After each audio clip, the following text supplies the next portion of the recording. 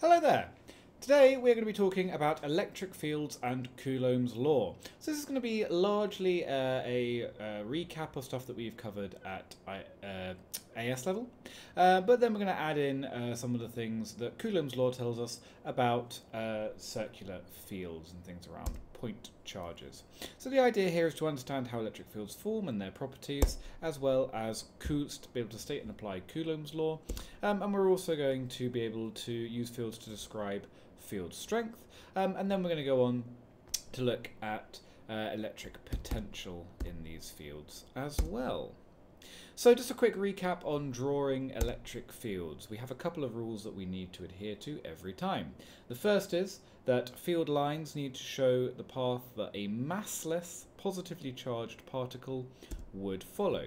Um, it's important to this idea that the particles have to be massless um, because that means that they're very light so they will actually follow that path. If you imagine that we had a heavy particle, um, it could uh, require extra force to make it uh, travel the true path. Um, so that's why we have a light, a light particle.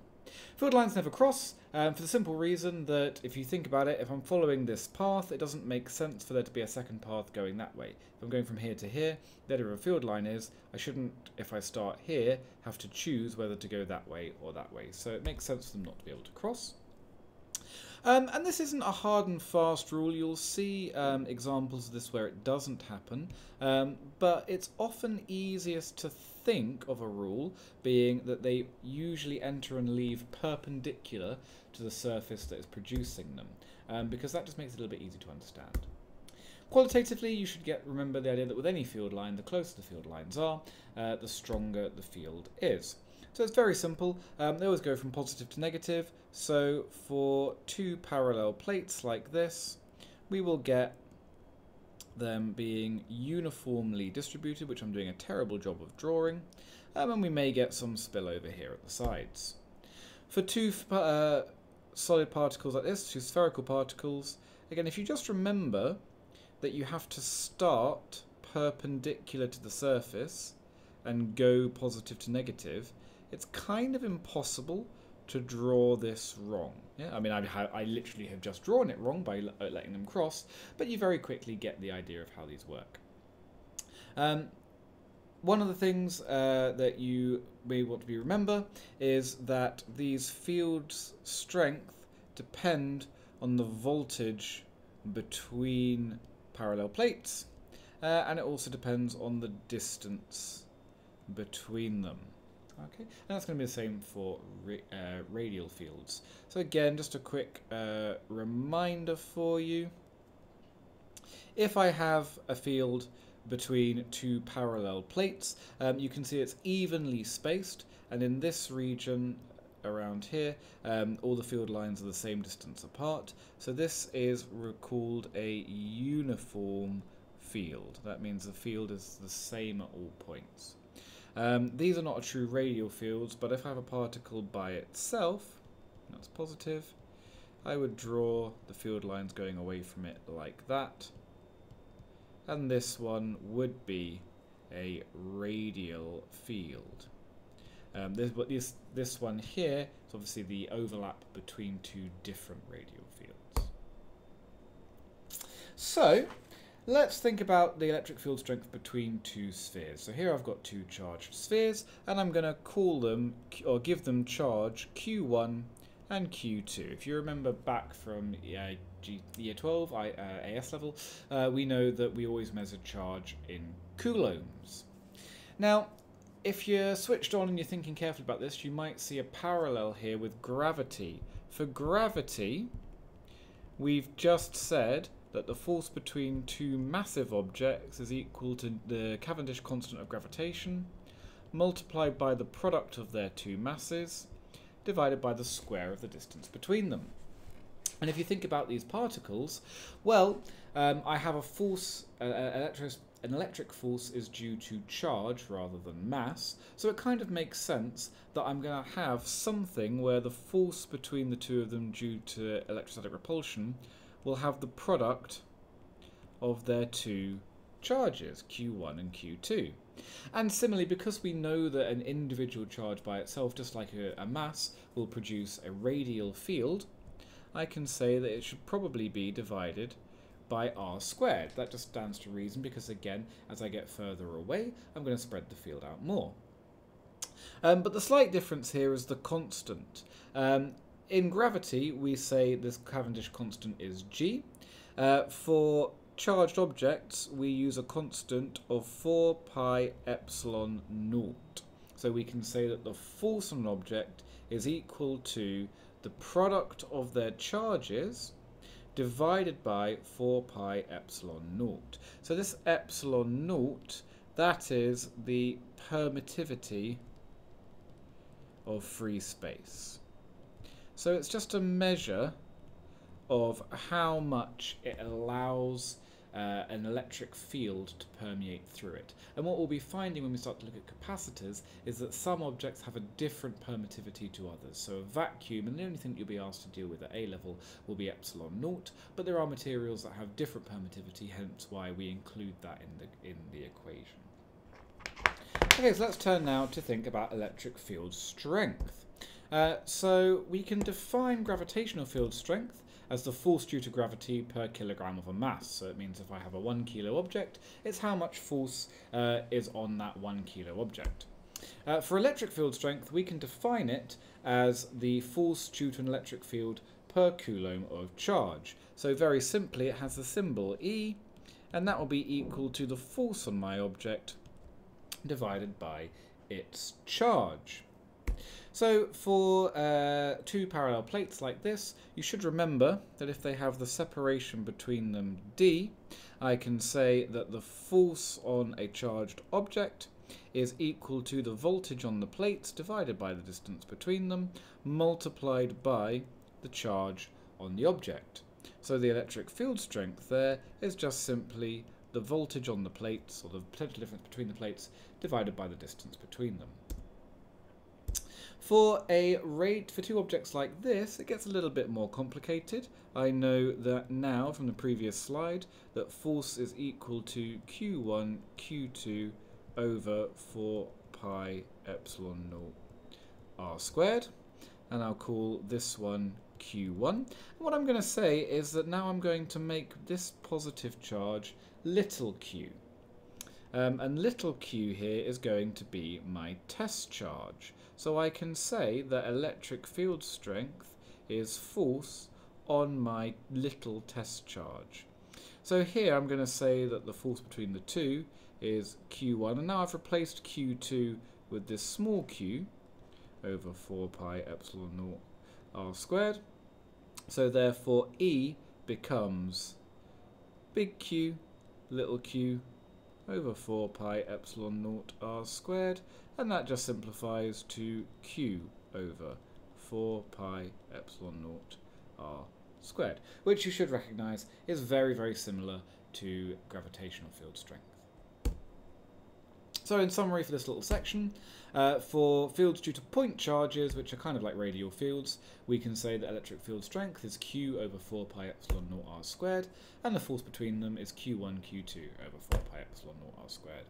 If we have them due to parallel plates, which forms a uniform field, then I can say that electric field strength is just voltage divided by distance, and the force on them is the charge on my object multiplied by voltage divided by distance between them. Okay, so now let's turn our attention to potential, or the energy required to get somewhere in a field. So we're going to start off nice and simply and think about the field due to two plates. So we know that the electric field between two plates is equal to the voltage across those plates uh, divided by the distance between them. So if here's plate 1, which I'm going to make positive, here's plate 2, which I'm going to make negative, then what I'm saying is that here's my D, and V is the potential difference or the voltage between them. Now if you notice, both D and V are constants here. So if I have a test charge, positive test charge, it is going to be repelled from the positive and attracted to the negative, but the size or the magnitude of that repulsion is going to be exactly the same wherever it goes. Um, because of that, when I come to try and say the force on it, again I can see that the force only depends on the work, sorry, on the uh, charge of my test object uh, and the voltage on the plates and distance between them. It doesn't, uh, the force doesn't vary with position, it's always the same magnitude. So what I can say then is let's think about the work done moving from one plate to another. So if I want to go from over here to over here, what is the work done? Well, I know that work done is equal to the integral of force with respect to distance. Now, in this case, force isn't changing. So it's a really simple equation, and I can just simplify that to, for this instance, work done is equal to force multiplied by distance. And even if you're not happy with calculus, you should be able to remember that for a constant force, work done is just force times distance. So I said for this uh, or yellowy orange blob that I just put in, that it's travelling from one plate to another. So in this case, x is the distance. So I can say that the work done is force times distance d. And if I substitute that back into the equation, I know that force is qv over d. So I'm just multiplying out by d, and you can see that this just simplifies out. I get rid of the uh, d's, and I can say that work done on a test charge is equal to q times v. Um, and that actually is where we get our definition of what voltage is. We can say that voltage is just the work done per coulomb of charge. And if you remember way, way, way back, oops, I don't know how I've just done that. I have no idea how I did that, that's cool. If you remember way, way, way back to GCSE, that is even the GCSE definition of what voltage is voltage or potential difference is the work done per coulomb of charge. Um, so really what is voltage? Again, we can think of it as the difference in electrical potential between two points. Um, if we think about a simple circuit, and you'll see a similar diagram to this in your textbook, if it has three identical resistors and a 12 volt supply, what I'm saying is between here and here, I will have 4 joules of energy between it for every coulomb of charge as it travels through there. That's really all potential difference is. Okay, so let's take the slightly harder case and think about the potential in a radial field. Um, so what I said earlier is that voltage is equal to, oh this is a mistake here, sorry, work done is equal to the integral of force with respect to x. But I also said up here that voltage is, or potential is work done per coulomb. Um, so I'm just going to put that up here for later. Potential is equal to work done, or potential difference per coulomb. So I'm just going to change that V to a W. That would make more sense. So, I want to have the idea of a test charge somewhere, and I'm going to move it from infinity, so from a, an infinite distance away, to a point in my field. Uh, exactly the same as I did uh, before. Now, this time, R is my distance, so I'm going to rewrite this as force is equal to Q1, Q2, sorry, um, work done is equal to the integral of Q1, Q2 over 4 pi epsilon naught r squared. But this time, I'm integrating with respect to r. And I have to do it with respect to r because my field strength does change. Because of this r term, if here's my point charge, if I go from here to here, I have changed my field strength because my field strength directly depends uh, on the force, uh, sorry, on the distance between my objects. So again, I'm going to say here's Q1 and here's Q2, which is my test charge. And I want the idea of taking it from infinity to this point. Now, with gravitational fields, we said that the work done is always going to be negative because I'm always, because gravitational fields are always attractive, whatever my mass is, I'm always going to be falling towards my object. But hopefully you can see here, if I have a positive test charge and I'm going towards a positive charge, I'm having to overcome the repulsion between them. So I'm not going to get a negative symbol appearing this time. So just doing an integration quickly. If you're not comfortable with following this integration, that's absolutely fine. Um, you don't need it for your IGCS, sorry, for your A level. So insulting. Um, you're just gonna, uh, you can just play along. Um, and just follow it and just get to the result. You don't need to actually know it. Um, what I'm going to do, just to make life a little bit easier for me, I'll just make the, just simplify some of the equations is I'm going to use a little trick that you might see, and it's useful to talk about it now. Um, what I'm going to say is that I'm going to create a constant called k, which is equal to 1 divided by 4 pi epsilon naught. Um, and sometimes you will see that used in textbooks online and stuff. Now, CIE don't tend to use it, um, but just when you, for your own notes, especially if you use Z notes, think Z notes sometimes use it, you might want to be aware of this. So if I use that as k, I can rewrite this integral as work done is equal to the integral of q1 q2 multiplied by k uh, over r squared. Now I took some advice from, uh, sorry, with integral integrated with respect to r, uh, and I want to put some limits in, so I'm going to my point r, in that's the distance between them, and I'm starting off at infinity. Um, now, uh, Mr. Cartwright pointed out that um, you have mostly will have been taught to do integration this way. So the first thing I'm going to do uh, is remove my constants from my integration. So it's now going to look like this. Uh, yep.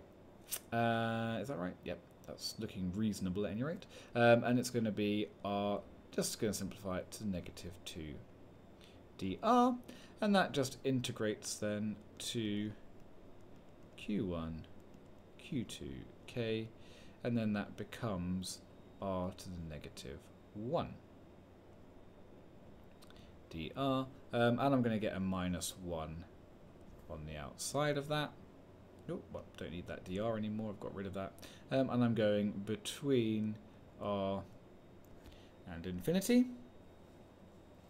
Um, so I can simplify this now to say, uh, let's expand this out, I get minus q1 q2 k multiplied by uh, 1 over infinity minus 1 over r. Um, now, 1 over infinity, that is equal to 0. So I get minus q1, q2k, lots of 0 minus 1 over r. And thank God I got rid of the negative sign. I was worried it was going to stick around. So the, the when I multiply a negative by a negative, I get a positive. So I get q1, q2 times this constant over r, and just for the heck of it, I'm going to get rid of my constant, and I'm going to get q1, q2 over 4 pi epsilon naught r. And you should notice a real similarity here uh, with gravitational fields. There's one step left to do. I've asked for potential. Uh, potential um, is work done per unit charge. So the last thing I'm going to do is I'm going to say that potential is this work done divided by the charge of my test charge. So I'm just going to divide this. If I say this, I said this was Q2, um, so it's just going to become divide by Q2, so it would just be Q1 by itself over 4 pi epsilon naught r. So there you have it. By thinking of that, what I can say is that if I have this test charge all by its lonesome here, I can work out how or what the electric potential will be at any point. All I need to know is the charge of my object and the distance from it. Uh, you can see it's not negative because in this instance I'm going from infinity towards it and we always consider it as a positive test charge. So it will always require energy to go towards it. So um, I just want to talk very briefly, because we will go through this more in the lesson and in your examples is the best way of learning this, um, but just thinking about electric field strength again, and start to think about multiple points. So one of the questions they might ask you is, here's one charge, here's a second charge, um, and here's a third charge. And it's and generally they'll be in um, just one dimension. They don't tend to get uh, two dimensional because you have to start doing horrible calculus. But they're going to say I travel from infinity, so from over here, and I travel to that point. What's the work done on a positive test charge? And you can see that could get quite complicated. Um, so, a nice easy thing to remember is electric field strength can be found as the diff as the gradient so it's dv by dd so what that means is if i have uh, a potential and a distance um, and i find that for most radial fields it's going to look like this um, what you may have to do in an exam is work out the gradient at a point so you can just do that graphically by drawing a tangent um, and then you're going to be using that to find electric field strength and uh, that should be minus negative in there um, to find electric field strength. Now the reason that we do that um, is because what you're going to find when you these examples is that finding this curve here is often much easier um, for multiple charges. So if you do do this, what you can say is that E total is equal to the electric field strength of the first object plus electric field strength of the second plus electric field strength of the third. So this will have an E1, this will have a component E2, and this one will have a component E3. And what we'll find is that adding those up is actually quite simple, um, but very, very powerful way um, of finding these things. But I'll wait until we've done some examples with that. Okay, I think you've earned a break. I think I've definitely earned a break. One thing I would recommend, the textbook, uh, uncharacteristically, is actually quite good at doing some explanations here. Um, so in your CIE uh, A-level physics textbook, I would recommend that you read through chapter 23 um, in its entirety. It's not too long, um, and it does provide some nice worked examples especially. Do check the worked examples. Um, those are, again, surprisingly, pretty good. And I'll see you in our lesson.